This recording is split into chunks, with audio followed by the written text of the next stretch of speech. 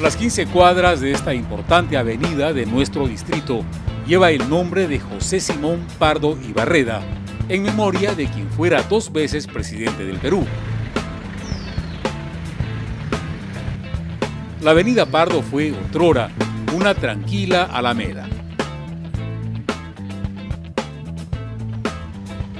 En la década del 40, con el crecimiento de la ciudad y ante la necesidad de nuevas vías para el tránsito vehicular, fue modificada.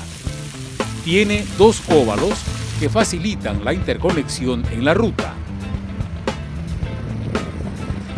Hoy conserva su adoquinada, amplia y arborizada berma central que usan los vecinos y visitantes para desplazarse, pasear o tomarse un descanso, mientras admiran algunas casonas del Miraflores tradicional que se mantienen en el tiempo.